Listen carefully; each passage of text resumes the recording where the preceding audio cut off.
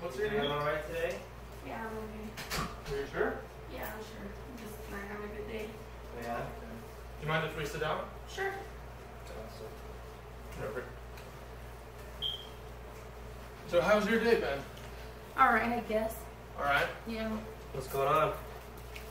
Just been at work at work? Where do you work at? in Florence. What do you do? I'm a director at the chamber. Really? What the fuck are you doing in my house, man? You doing in my house? What the fuck you doing in my house?